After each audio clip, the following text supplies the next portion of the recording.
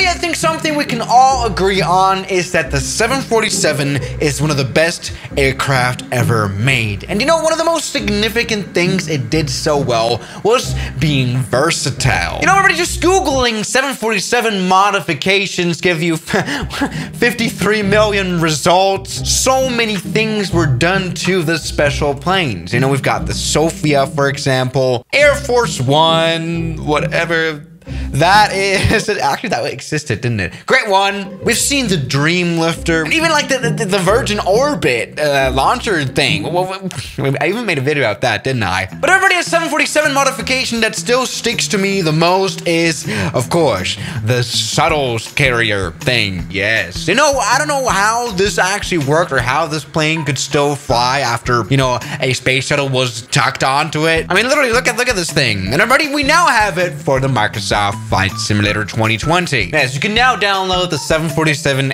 SCA shuttle carrier aircraft here for free on the flightsim.to website. Now, is this plane super great? Not really. It's not that realistic. I mean, in real life, this plane was the 747-100. Right now, we are using the 747-8 model that's already included into the Microsoft Flight Simulator. I mean, look at this long upper deck or the very modern cockpit. But it didn't really look like that in real life. But you know, I just appreciate the opportunity now to do some proper flight testing today. Let's do that. You know, really, this is not a very bad add-on you can do. This is not this is not stupid. Especially the physics, of course, were changed now. Here we go. Definitely the Endeavour Space Shuttle Orbiter has been added to the main weight, 212,000 pounds. We can even remove it, right? Yeah, there we go. We can remove it. Things like that, always very realistic. Let's add it back into the plane. So, time now to fly this. Welcome to Edwards Air Force Base in the desert of California land. This is the home of the shuttle carrier. Now, you know, let's just go. You know, the shuttle carrier, of course, was used to carry the shuttle around, you know, from places where it landed to the places where it took off again. For example, here from Edwards Air Force Base to, um,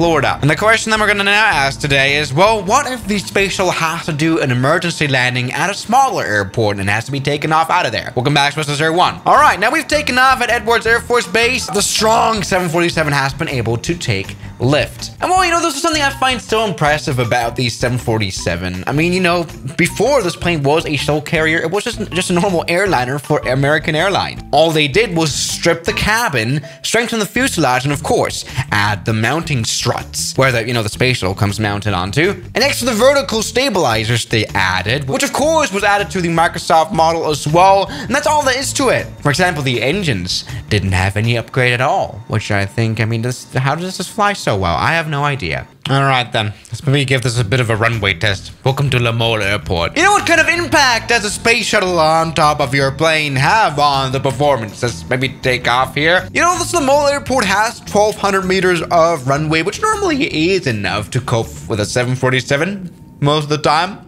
Sometimes. Let's give this a try now. All right, there we go. Any knots? Any knots? Uh, it's not looking great. It's not looking great at all. Jesus Christ, please don't die. Oh, Jesus. Oh, please take off.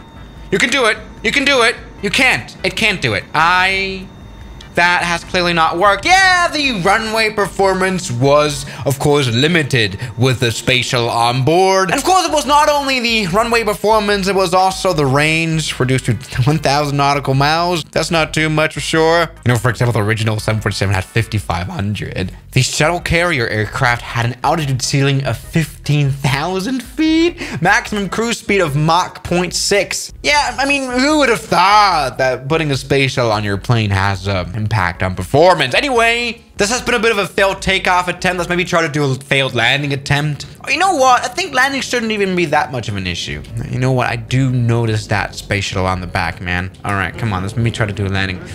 Ooh. It's not, it doesn't handle so well. The 747 normally flies beautifully.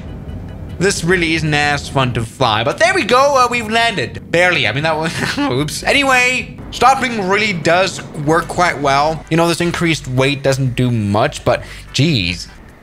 Let me say, uh, yeah, we, we, we need some maintenance on both the Space Shuttle and the 747. Yeah, good. Maybe time to step up. Let's maybe go to the Alpine Mountains here, 6,000 feet of runway. You know, this is an important question. You know, what if the Space Shuttle wants to go skiing? Let's take off. Let me try to take off. I mean, 1,800 meters of runway. Come on. Uh, but it is barely gaining speed, I do have to say. Alright, it's, uh... Oh, oh, end of runway. Once again, Jesus Christ. Wasn't that bad, the performance? Oh my god. Like, we even have proper uh, headwind I added there for a bit of a cheat, but still that hasn't worked at all. Okay, we, uh, no. That, no. What? Alright. Know, we've got two options. Either the model of the 747 is just weird and totally underpowered here in the flight simulator, or it was like that in real life. By the way, welcome to Skiathos Airport. We went there like a month ago in real life. So maybe try to take off here. Come on. This is not a proper commercial airport. I mean, gee, okay, you know, this is a big 747. I just realized this plane is huge. With this huge construction, probably one of the tallest flying planes ever made, honestly. I mean, look how tall this tail here of the space shuttle stands here. That's crazy. All right, come on now. We've got 120 knots. Um, 130. This might just work. I think we found a runway where the 747 space shuttle carrier can actually operate. Barely, very barely. Jesus Christ, that's been almost dying once again. There's people on the beach. Irresponsible. No, but seriously though, my goodness, was the space shuttle carrier this underpowered? I'm asking myself. And here we have a takeoff test here, and uh, doesn't look great at all. This this plane does seem to use a lot of runway here. Look, that's a long runway. That's a long run, I do have to say. Well, buddy, I think we all have learned something new today. Whoa! The shortest runway the 747 shuttle carrier aircraft can operate on is the Skiathos Airport runway. It's 5,000 feet, 6,000 feet, something like that. It is not long for sure, but probably long enough. I mean, this plane doesn't even exist anymore anyway, so come on. Jesus Christ, how do I keep dying with this one? The performance really is bad. That's like the worst impact the shuttle really has had now. This plane handles horribly. Crashed into a mountain now, haven't I? I have.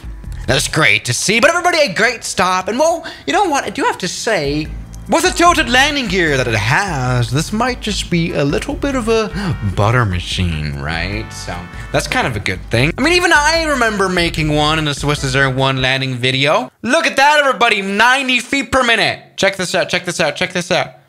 Yes, beautiful, but as you can see, indeed, the 747-100 is a bit shorter. Look at this for comparison. So everybody, yes, the 747, we all love it. And thank you so much for watching today's video, and I'll see you guys tomorrow. As always, good night.